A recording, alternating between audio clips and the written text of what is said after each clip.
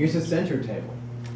Um, this is a marble top. You can see the C scrolls down here, small scrolls, um, heavily, heavily carved.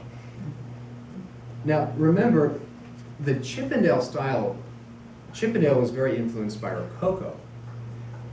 Same thing that this is reproducing. Uh, Chippendale's Rococo, if you remember that cartouche and that elegant piece, you remember it was still very much sensitive to form.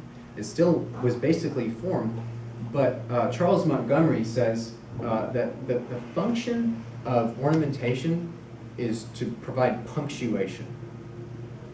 It's, so you have form, but ornamentation is, is not supposed to dominate a piece. It's supposed to provide an exclamation point or a firm period. This is what this piece is. It's supposed to complement the form.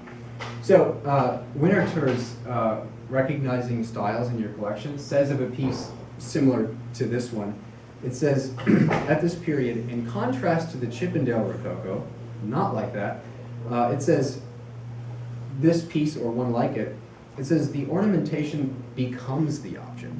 Now the object is ornamentation. And so it's interesting uh, to see the shift, but it does reflect the social attitudes of the time.